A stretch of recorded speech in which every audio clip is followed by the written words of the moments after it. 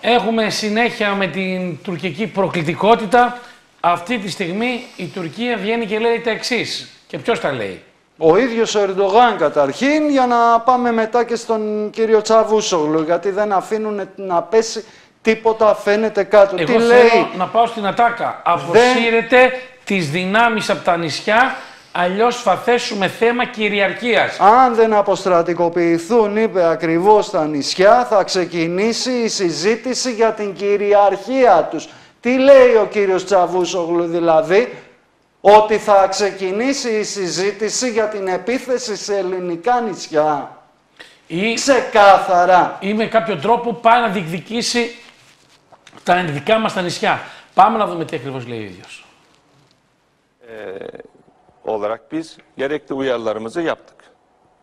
Şimdi e, Birleşmiş Milletler'e iki tane mektup gönderdik.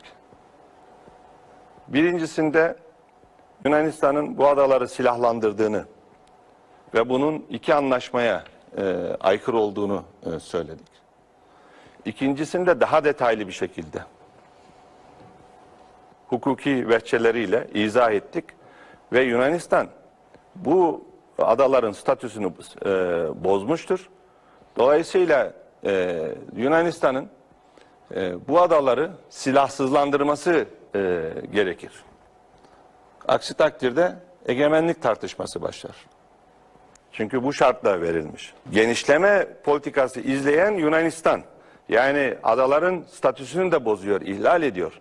Ee, biz uluslararası hukuk diyoruz. Uluslararası hukuk da gayet açık Ee, anlaşmalar gayet açık. Dolayısıyla Yunanistan bu e, ihlaller konusunda geri adım atmazsa adaların egemenliği e, ni tartışmaya açacağız diyoruz.